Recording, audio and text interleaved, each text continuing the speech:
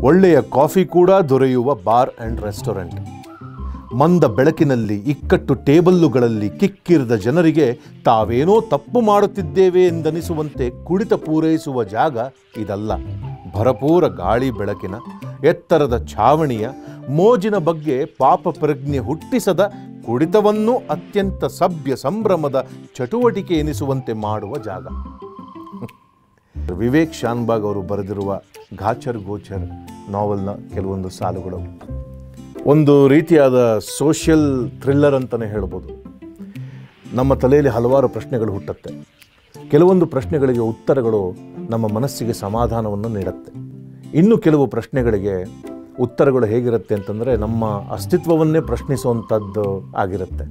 ಹಾಗಾಗಿ ಆ ಭಯದಿಂದ ನಾವು ಆ ಪ್ರಶ್ನೆಗಳನ್ನೇ ಕೇಳೋದಿಲ್ಲ.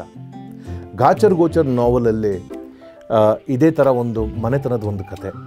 ಆ ಮನೆಯಲ್ಲಿ ದುಡಿಯೋನು ಒಬ್ಬ.